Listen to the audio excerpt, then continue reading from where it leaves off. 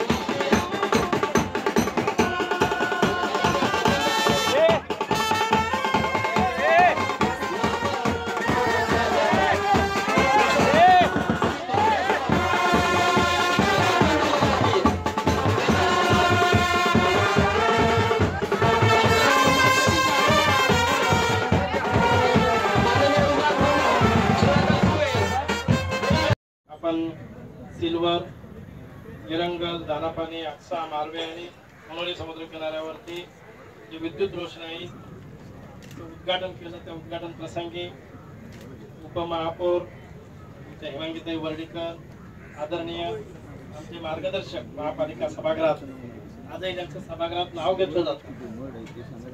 ते खासदार गोपाळ शेट्टी साहेब स्थानिक नगर सेविका संगीता सुधा स्थापत्य समितीच्या अध्यक्ष. सर इधर देखिएगा.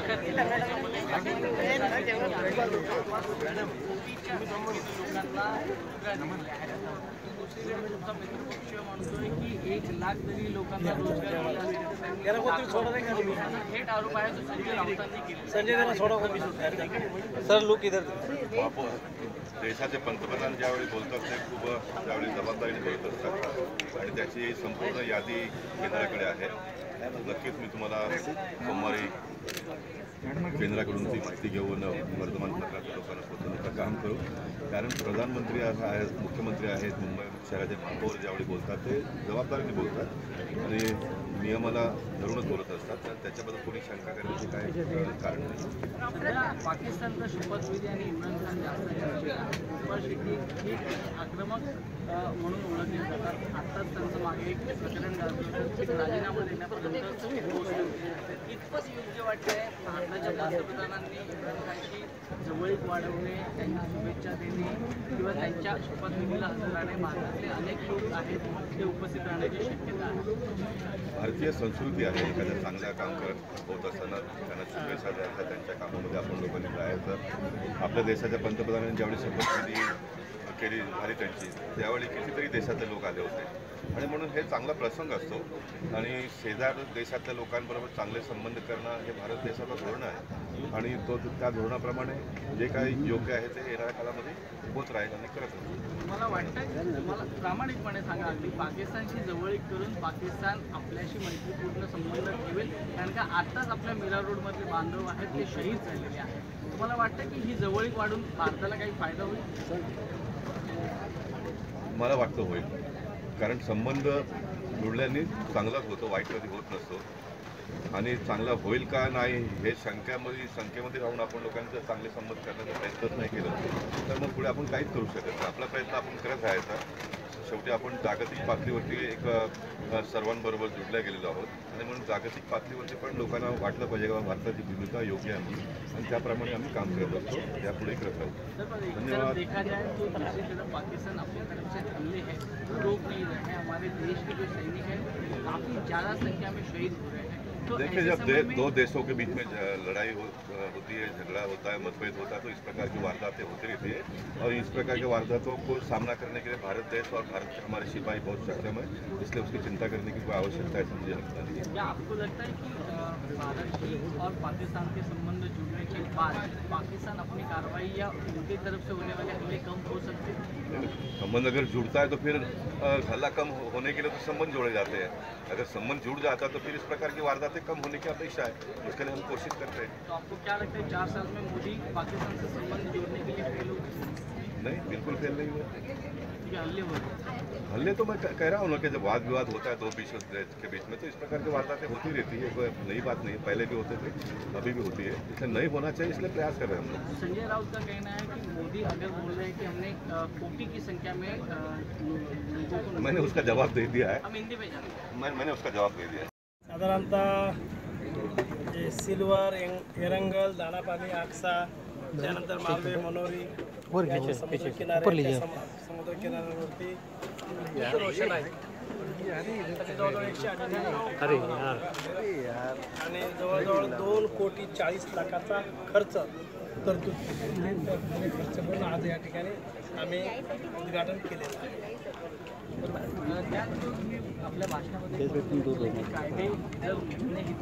रुको रुको रुको.